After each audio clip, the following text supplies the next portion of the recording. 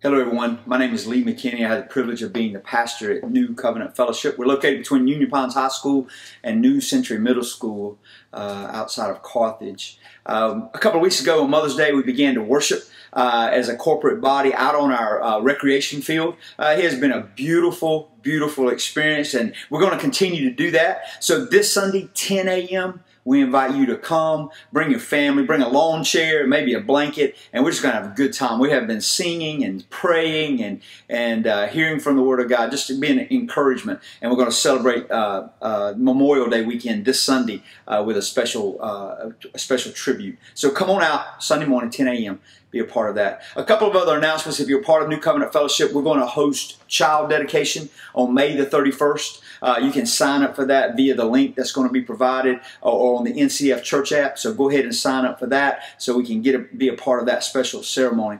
Uh, the real reason I'm here this morning is to offer an opportunity to serve others. You know, in Isaiah 58 it says that, that true religion, true true worship unto the Lord is, is feeding the hungry and clothing the naked and housing the homeless. And we have an opportunity to begin to feed those who are hungry. The, the Carthage Food Pantry that has been doing a great job for years and years and years in Carthage. They have reached out to us and they need some help. See, there's a new program coming uh, on board pretty soon from the federal government that's going to offer even double the food that they have been receiving. So they need some volunteers. Families, that we're going to show a video now, of some of their operation. Families, this is a great opportunity. Uh, on Saturdays, not every Saturday, when you sign up, on Saturdays from 8 till about 9.30. Uh, you're going to be able to bring your whole family. They have a nursery there for their children, uh, and you can uh, serve our community. We need some hands to do that. I hope you'll uh, start praying now to volunteer to be a part of the uh, Carthage Food Pantry